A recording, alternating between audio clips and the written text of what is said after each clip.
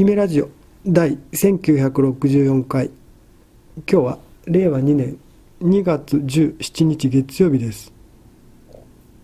時刻は午前11時。横浜港北。月曜の朝。昨日から降り続いた雨も上がりだんだんお昼近づくにつれて雲間からブルースカイ見えるようになってきました。これは午後から気温が上がりそうです。今日は午後から八王子にお仕事ありますからもうすぐ出かけないといけないんですよ。その前の時間を使っての夢ラジオ。しばらく投資のお話していませんね。今回は金融投資のお話をしましょう。ウイルス報道ホテルリート急落こんなタイトルでお話します。なんか何のことか分かんないですね。ウイルス報道でホテルリート急落。まあ分かりやすく言うとそのウイルスの報道が最近まあ盛んですね。でそれによって観光客もしくは人の移動が鈍化しそしてホテルの、えーと、業績が下がりそしてホテルリートというのはそのホテルの業績に連動するリートですから急落してるわけですよ。リートが何かホテルリートが何かちょっと今回は省略しますね。だからちょちょっとプロ向けみたいなプロ向けというかあの、まあ、投資家向けというんでしょうか。投資やったことありませんの人にはちょっとあのお話ししにくい話題ですね。まあいいや。えっ、ー、とそのホテルリート。で代表的なものはねジャパンホテルリート JHR と呼んでおきますがこの JHR っていうのはまあ昨年来えー、と9万円最高値してたんですよ。でこの JHR っていうのはかつてこの夢ラジオを始めた頃にリートの話をよくしていてあの頃まあたくさん分析していましたがまあいいリートなんですよ。で持ってるホテル物件ももすごいのばっかりなんですね。でそこがですよ9万円の、えー、っと最高値から今日なんと7万2000円。7万2000円も切りましたね。私は買いを入れましたよ。つまり2割安。そして株と違って J リートの銘柄は株と違ってねえー、っと3割減っていうのはよほどじゃないとない。よほどじゃないと。だからまあ2割減ぐらいがもうそれはオフィスリートでも商業リートでもうんとホテルリートでもあとあの介護リートでもそうです。2割減が大体の目安なんですよ。住宅リートでも。ですからまあ私はここがえっと一定の目安だろうと思って実はもう今月入って今月入って急落してますからホテルリートはどこもかしこも。例えば1号ホテルリートあるいはインビンシブル。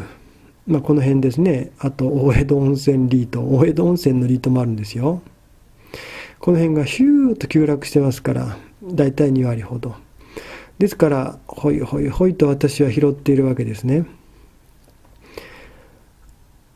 もちろんこのままウイルスの猛威が本当の、えーと、本当に広がりそしてホテルの業績が下がってくればえー、っと、今回の下落も正当化されてしまい、ですから、さらなる下落の可能性はあります。えっと、投資とはそういうものなんですよ。本当に確実な底値なんか誰にも言えない。けれど、まあ、こんな放送をしている私は、ちょっとウイルス報道を騒ぎすぎかなとは思ってるんですね。これでホテルの一般的な業績が上がったり下がったりするようなものではない。そう踏んでるんですよ。そうすると、今の報道によって、あの、下がった株価も一種風評被害っていうんでしょうか。か株価は風評被害という言い方はしません。株価とはそういうもので、噂が立ったら、現実以上に上がったり下がったりするものなのですね。けれどまあその現実以上に下がった状態が今なのでないかさっきの JHR にしてももう利回りは5%超えてますよこれだけの物件で5%の利回り超えていたらうんこれは文句なしに倍ですね。2月から買い始め難品買いになっておりますから今マイナスが膨らんでいます。ただし1月ぐらいにほとんどキャッシュのポジションになっていて、まあ、そこからの買いなので信用取引は使っておりません。現物買いですね。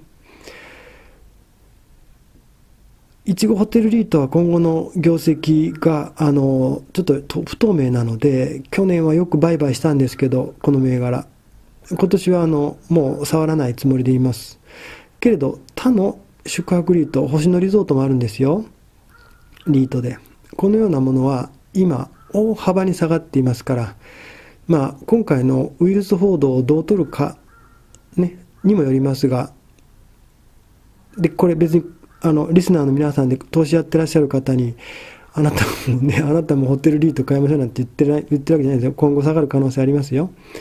私だって現物で買ってるっていうことは下がるかもしれないと思って買ってる。しかも、あの、キャッシュの、いまだそれでも半分いってるかいってないかですね。まだキャッシュのポジション半分ぐらい残してますよ。まだ下がるかなと。つまり3割は下がらないと言ったけど、市場では何が起きるか分かりませんから、3割、4割下がったって、その時まだ買い増しするぞ。これこそが、まあ、厳しいマーケットの勝利者になれるんですね。どうでしょうか？ホテルリート、5つぐらいあります。それが今後どういう動きするか。見ものですね。今が2月。4月ぐらいにどうなっているか。そしてその頃ウイルス報道がもう下火になっているのかいないのか。下火になってたらもうああんなものただ報道だけだったとなりますね。それとももっと深刻化しているんでしょうか。それによってホテルリートの投資口価格も決定されますね。リスナーの皆さんと一緒に見ていきましょう。イメラジオ。1964回目。今回はウイルス報道でホテルリート急落。こんなタイトルでお話しました。もうすぐえっと出かける準備しないといけないですね。今日は午後晴れそうでとっても嬉しいです。